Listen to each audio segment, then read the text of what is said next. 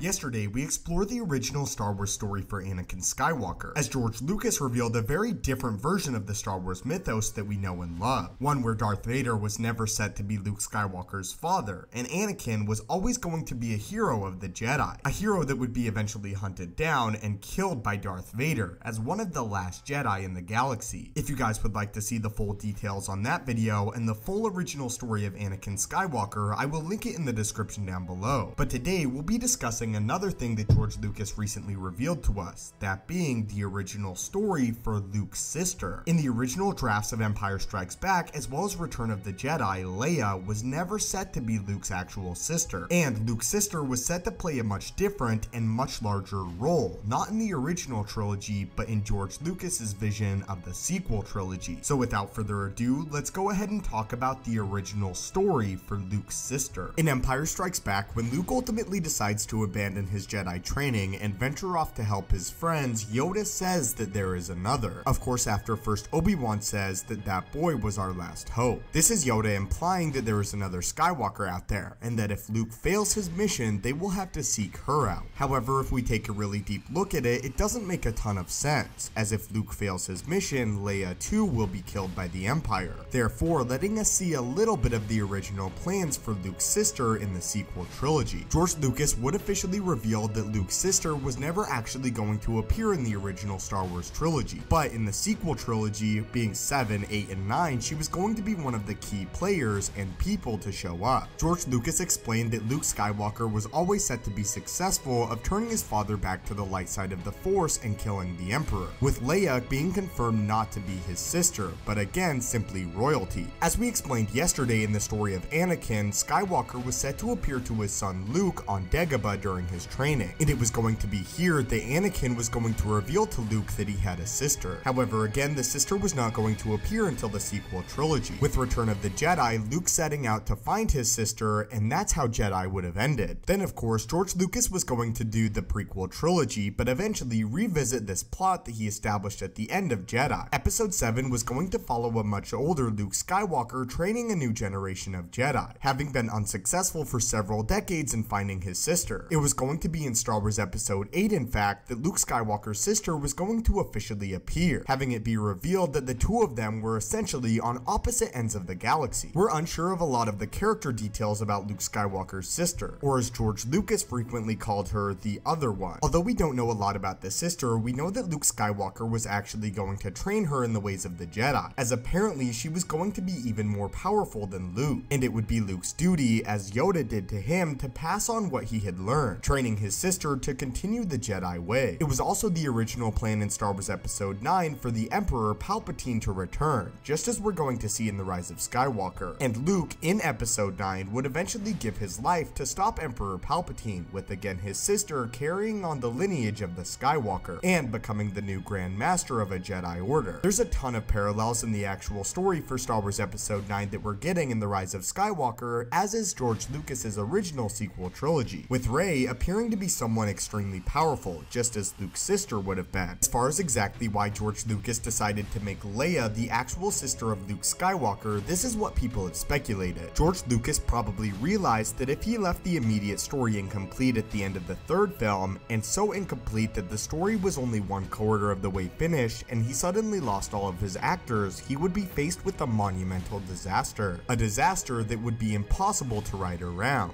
and therefore George Lucas decided decided to conclude the original trilogy with Leia being Luke's sister, tying it all very nicely in a bow as the trilogy stands on its own. But What are your guys' thoughts on this, and the original plan for Luke Skywalker's sister in Return of the Jedi and the sequel trilogy? Would you have been interested to see what eventually played out in George Lucas's sequel trilogy with his sister? Or are you ultimately satisfied with what we've gotten? As always, my friends, thank you guys so much for watching. May the force be with you, and have a great day.